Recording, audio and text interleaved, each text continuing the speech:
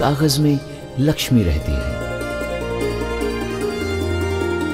जो तिजोरी की कैद में छुपती है, कागज़ पे खबरें आती हैं। देश को भ्रष्टाचार और काले धन रूपी दिमक से मुक्त कराने के लिए एक और सख्त कदम उठाना ज़रूरी हो गया है।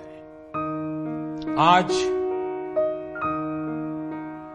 मध्यरात्रि यानी 8 नवंबर 2016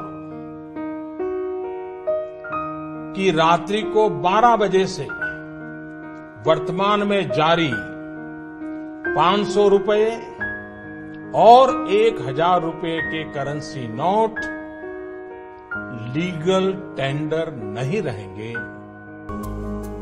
फिर कागज़ नहीं, बस रद्दी रह जाती है।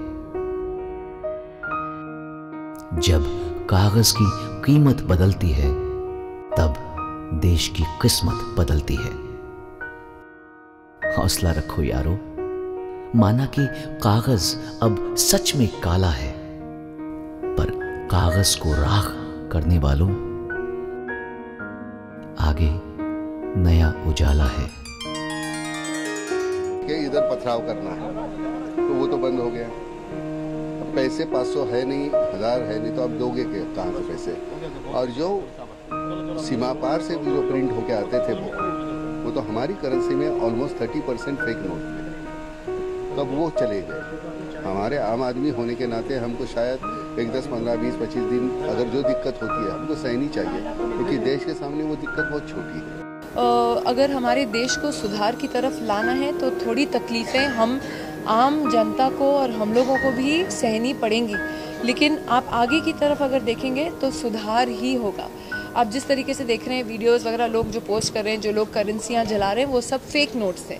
वो सब जाली नोट्स हैं। तो आप समझिए कि हमारी इकोनॉमी कैसे सफ़र कर रही है। और ये जहाँ पे मैं तो लोगों को बोलती हूँ, आप लोग यू एस एम्बेसी की वीज़ा लेने जाते हो तो तीन दिन लाइन में खड़े होते हो, वो आपके लिए ठीक है। लेकिन आप अपने देश की सुधार के लिए थोड़ी दो दिन तीन दिन की तकलीफ़ें नहीं सह सकते हो। तो आप फ्यूचर की सोचिए।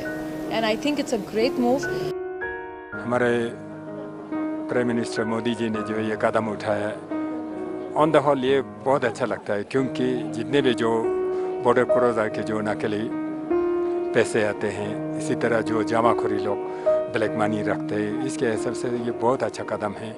I think it's for me it's the greatest move that I've seen you know in the in the history of Indian politics.